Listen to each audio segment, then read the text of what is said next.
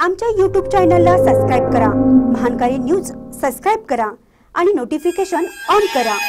Notification on केल्यामुळे आमचे update आपल्यापर्यंत सतत पोहोचेल. आचारसंहितेचा कर्नाटकच्या मुख्यमंत्र्यांना बसला दणका. जिल्हाधिकाऱ्यांनी काढून घेतली सरकारी गाडी. लालबत्ती झाली गुल. आज सकाळी मुख्यमंत्री सिद्धरामय्या एका कार्यक्रमाला सरकारी गाडीतून जात होते. चिकबळापूरच्या जिल्हाधिकाऱ्यांनी त्यांना रस्त्यातच अडवलं आणि त्यांचं वाहन ताब्यात घेतलं. त्यामुळं खासगी वाहनातून मुख्यमंत्र्यांना माघारी फिरावे लागले. केंद्रीय निवडणूक आयोगानं कर्नाटकच्या विधानसभा निवडणुकीची घोषणा केली आणि याच दरम्यान आचारसंहिता लागू झाली. मुख्यमंत्री सिद्धरामय्या दूध डेअरी उद्घाटनाला निघाले होते. मात्र चिक्कबळापूरच्या जिल्हाधिकाऱ्यांनी त्यांना रस्त्यातच रोखलं.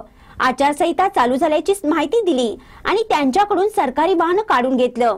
शिवाय पेड न्यूज नियंत्रण ठेवण्यासाठी प्रत्येक जिल्ह्यात विशेष देखरेख पथकाची विशेष नेमणूक केल्याचंही स्पष्ट केलं.